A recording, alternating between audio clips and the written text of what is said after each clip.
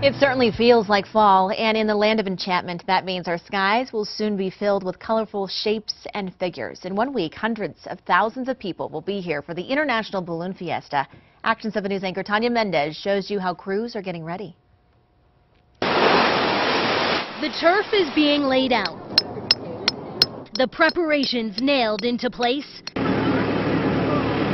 The final drop-offs backing in as crews work round the clock putting the finishing touches on the grounds at Balloon Fiesta Park. I actually came out here with a broom and swept it a little bit because if you can imagine sweeping dirt. Getting ready for the biggest event to hit the city takes weeks and hundreds of volunteers.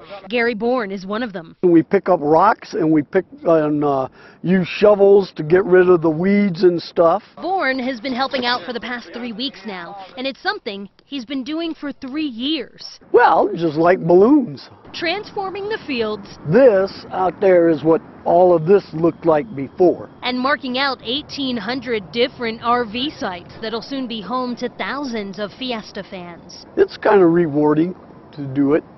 We put up all the signs out on the roads to direct people in. Making sure that people's first impressions are good ones. You just do it, you know, and make it look nice as you can.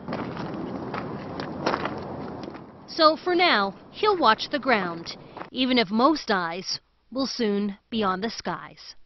Tanya Mendez, KOAT, Action 7 News. This year's theme is Enchanted Sunrise. The unofficial kickoff is next week's Albuquerque Aloft, where pilots launch balloons from local schools.